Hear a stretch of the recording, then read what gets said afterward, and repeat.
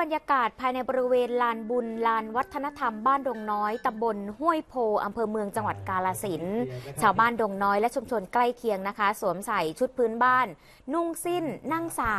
าดสาดนี่ไม่ใช่สาดน้ำนะสาดที่แปลว่าเสือที่นั่งเนี่ยนะคะ ตักบาตรยามเช้า ร่วมกิจกรรมลานบุญลานวัฒนธรรม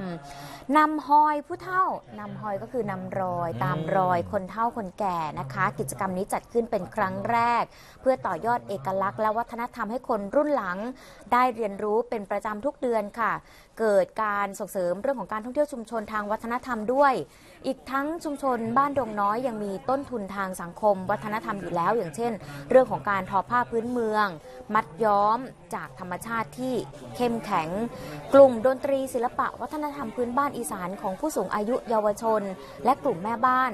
กลุ่มทอเสือกกและแปรรูป ตลอดจนมีแปลงปลูกฝ้าย ซึ่งพร้อมที่จะพัฒนาให้เป็นศูนย์สาธิตผลิตภัณฑ์จากฝ้าย และจุดศูนย์รวมสินค้าชุมชนด้วยนะคะ เรียกว่ามีเอกลักษณ์ในชุมชนที่สามารถส่งเสริมเรื่องของการท่องเที่ยวชุมชนได้ อ่าสำหรับกิจกรรมนี้ก็มีกำหนดจัดขึ้นทุกวันเสาร์ที่ 2 ของเดือน นอกจากจะเป็นการส่งเสริมการท่องเที่ยวในชุมชนแล้ว ยังเป็นเวทีให้ผู้สูงอายุและเยาวชนได้แสดงถึงความสามารถ เปิดตลาดวัฒนธรรมให้กลุ่มอาชีพ และชาวบ้านนำผลผลิตมาจัดแสดงและจำหน่ายด้วยนะครับ